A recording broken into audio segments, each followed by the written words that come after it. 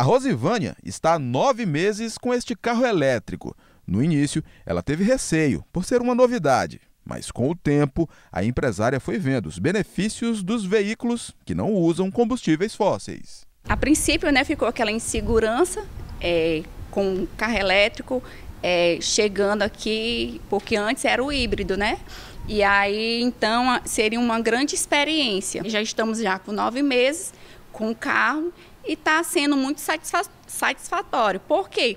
Porque cada dia mais a gente está economizando, né? Porque você está vendo aí que a, o combustível só vem aumentar, quando não aumenta, diminui, mas quando diminui é pouco, né?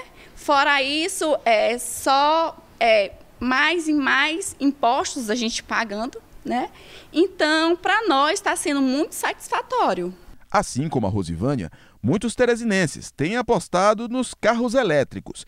Esta loja de automóveis já vendeu, só neste ano, 391 unidades. Muito por conta do principal atrativo, a economia. São vários benefícios, mas do ponto sensível hoje, que é a questão hoje de bolso, né, o carro elétrico ele atende muito essa necessidade, por não consumir nenhum tipo de combustível fóssil. Né? O gerente afirma ainda que o planejamento é essencial para que os elétricos de fato garantam economia aos donos.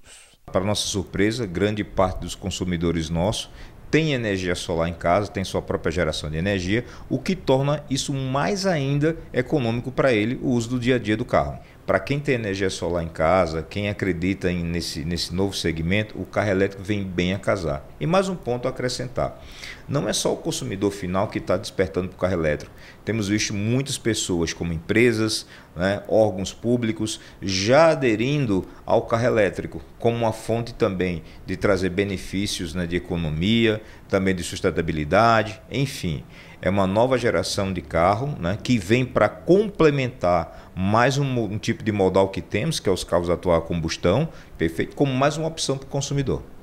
Hoje, Rosivânia não abre mão do carro elétrico. A redução nos gastos mensais que ela teve foi muito significativa. Eu estou rodando em torno de 200 quilômetros, né?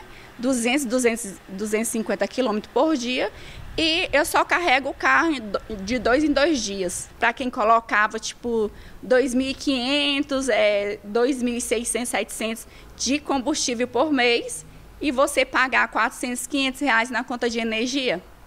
Então, é uma diferença bastante satisfatória.